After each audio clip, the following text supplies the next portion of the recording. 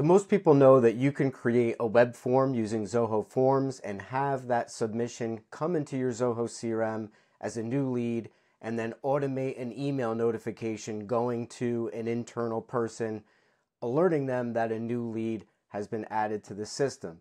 But did you know that you can put a button on that email so that with one mouse click, it will jump that person directly into the new lead record that was created rather than having to waste time going into the CRM and searching by that new lead by their name?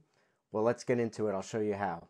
Here we have a form that I've set up in a test system.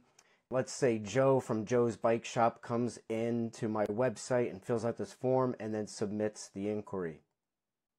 Now, within a few seconds, I will have an email in my inbox alerting me that a new lead has been created in my Zoho CRM.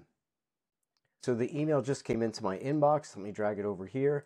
And it's a very simple email template, just saying that a new lead has been added to Zoho CRM and it's giving me the lead's name, their company name, their email address, and whatever comments they put in to the form when they filled it out. But now if I want to go to this lead record and maybe do some research or put in some notes or, or do whatever, I've got to go into the CRM, search for Joe Smith, find him, and then open up the record. So wouldn't it be nice if we can add a button to this email template, which would give us one click to go straight to the lead. So let's go ahead and do that. So here we are in Zoho CRM. Let's go to our email template. Okay, so here's our email template that you saw put to use just a moment ago. And now before we add a button to this email template, what we need to do is we need to figure out what the URL would be that that button will navigate us to when we click on it. And what we want to do is we want to go into Zoho CRM to the leads module and then open up any lead record. It really doesn't matter. And what we want to grab is this section of the URL. So everything to the left of the actual number that you see at the end, that number is the ID of the lead. So what we're going to do is take this text over here and copy it. Now there's an org identifier here. This is going to be different for anybody. You know, my org is going to have a different number than yours. So don't put the number that you're seeing on my screen. It won't work for you. All right, so make sure you go to a lead record in your own CRM and copy this section of the URL, get it into your clipboard. Then we're going to go back to our email template.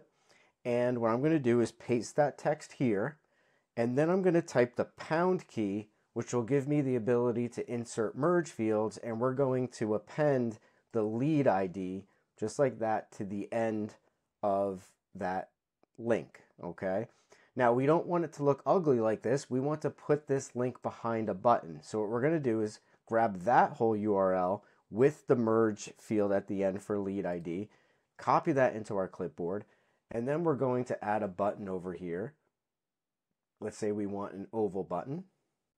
And the button name is what is the text that you see on the button. So let's say we call this go to lead.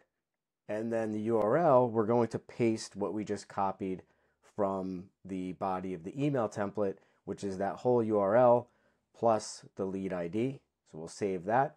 And now that we have that configured in a button, we can get rid of this text here. You can configure the text on the button, bold, colors, all that kind of stuff. We're just going to keep it simple for now and save that. Okay, so now what we're going to do is let's fill out our form again, and we'll see this all put to use. Okay, so I have this form filled out. Let's submit it again. And then now within a few seconds, we'll have that email come into my inbox. So now the email came into my inbox. Let's take a look at that email. It's the exact same email, but you see now we have a button click at the bottom to go to that lead in the CRM. So it opens up in our browser and brings us straight to that new lead that was created. That's it.